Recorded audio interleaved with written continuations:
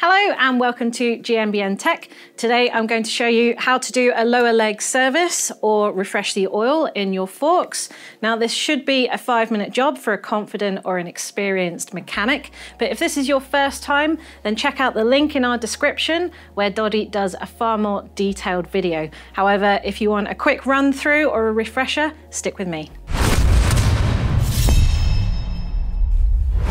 So you should absolutely be working with a clean set of forks so that no dirt falls in there and there's no damage to your forks. It's also a lot quicker and easier to work with them off the bike. Now you want to take that cap off over the rebound dial if you have one and you'll have a 2 mil bolt on holding on your rebound dial. So just go easy with that, be gentle with it. It shouldn't be done up too tight and it will be a little bit spring loaded sometimes. So careful it doesn't fire across the workshop. You'll have a little one, a spring, and then the bigger one. Set that aside. So you'll have two foot nuts on the bottom holding the lowers on.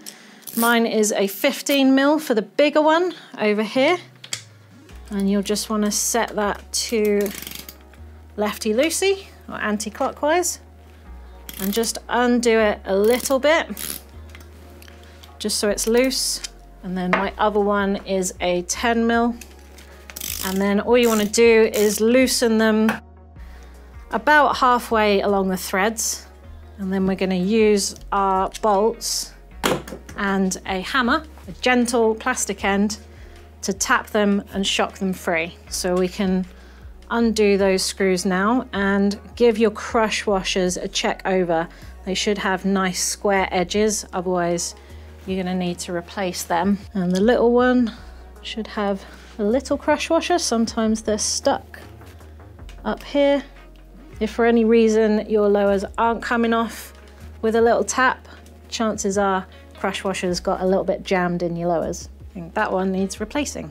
Mine are a little bit chewed up, so I'm gonna use some new ones. At this point, I like to put some gloves on. I've got some nitrile gloves here just to protect my hands and also keep them clean, and then get it over your tray or a bucket or an old bag or something to collect the oil. Make sure your O-rings at the top and just give them a good pull. And there, it should all drain out. then it's cleanup time. Now, as this is a refresher and I keep on top of maintenance, I just like to wipe things down and then refresh the oil. If uh, your oil is really black or dirty or you've somehow got grit in there, then you might want to clean these properly with some soapy water. I also have an old outer cable, which I like to wrap with some blue roll. You can use a tool or an old cloth or a towel or a t-shirt or something to basically clean out the lowers, basically trying to be as gentle as possible, not to scratch the lowers with anything. So a soft cable is my preference. And you can also push the blue roll back out if it gets stuck down.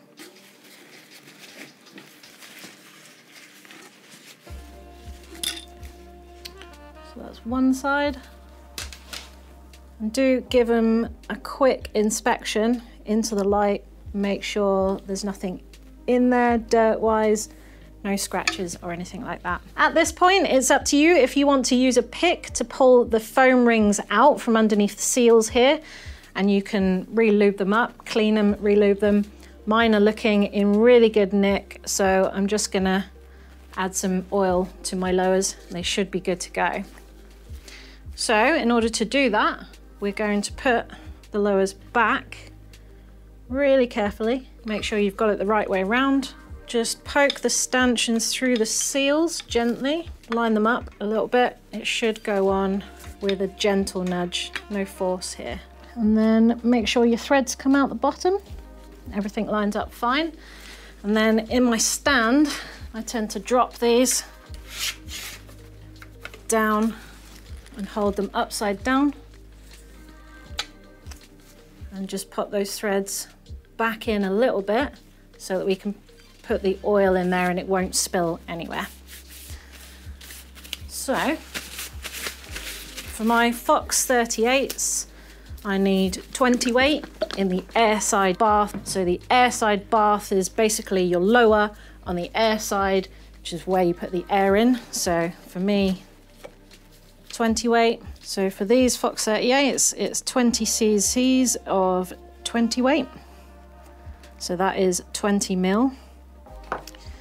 And then because I've got a grip 2 damper, I need some 5 weight in the damper side.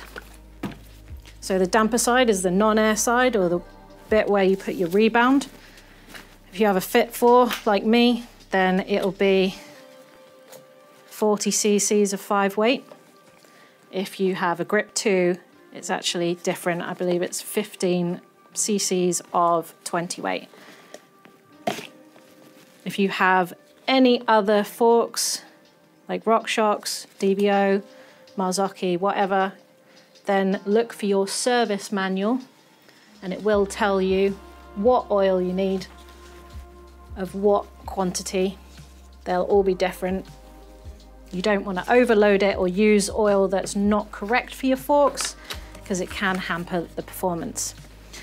So you've refreshed everything and now it's just a case of putting it all back together in reverse order. So you'll get your bolts with your new crush washer if you needed it. So the little one on the little thread, big one on the big thread with your new big crush washer if you needed it. And then check your manufacturer's spec or your service manual to see what torque setting these are. For my Fox 38, it's five newton meters. And use my torque wrench, already set to five newton meters. So my big one, 15 mil, now these don't need a lot of torque. Five newton meters might seem gentle, but the crush washer's there to seal them in. So it's perfectly adequate.